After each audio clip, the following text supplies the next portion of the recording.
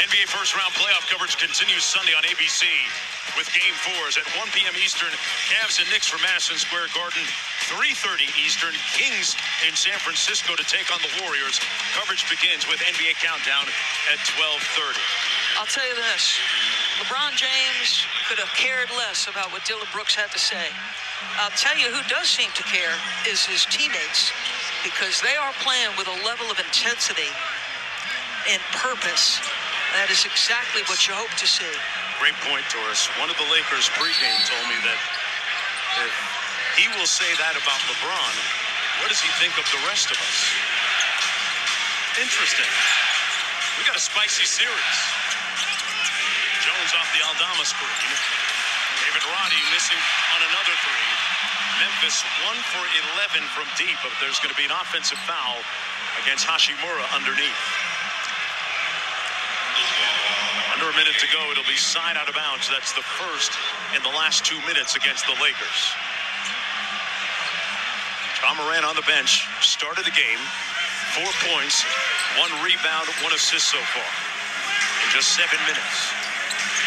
Jones over to Santi Aldama.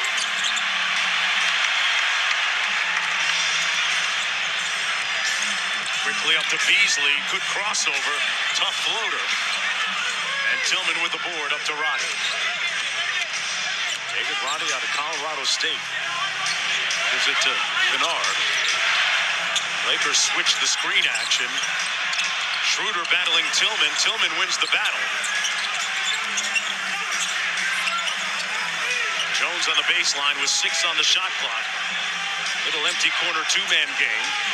Good help by Gabriel inside. Jones missed it. Tipped up, and Rui with the rebound. Ten to go. One-on-one against Kennard.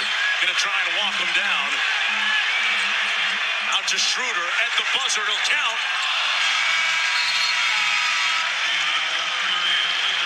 But a propitious beginning for the Los Angeles Lakers. Ties the largest first quarter lead in NBA playoff history.